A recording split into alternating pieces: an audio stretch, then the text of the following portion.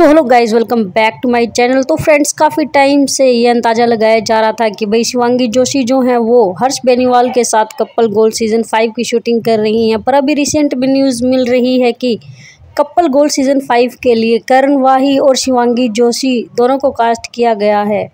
भाई, ये न्यू जोड़ी हम देखने के लिए एक्साइटेड हैं, क्या आप भी एक्साइटेड हैं? और ऐसे ही न्यू अपडेट के लिए हमारे चैनल को सब्सक्राइब कर दीजिए और वीडियो पसंद आई हो तो वीडियो को लाइक ज़रूर करें।